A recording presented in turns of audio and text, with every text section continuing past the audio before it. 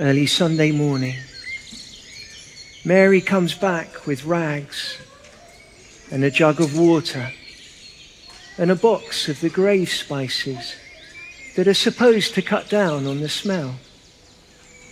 She's braced for the task. But when she comes to the grave, she finds the linen's been thrown in the corner and the body is gone. She sits outside in the sun.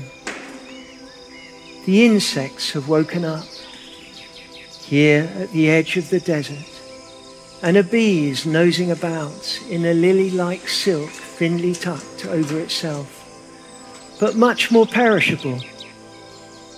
It won't last long. She takes no notice of the feet that appear on the edge of her vision. That's enough now, she thinks.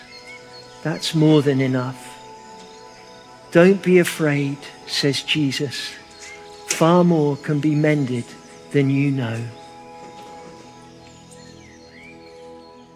Christ is risen.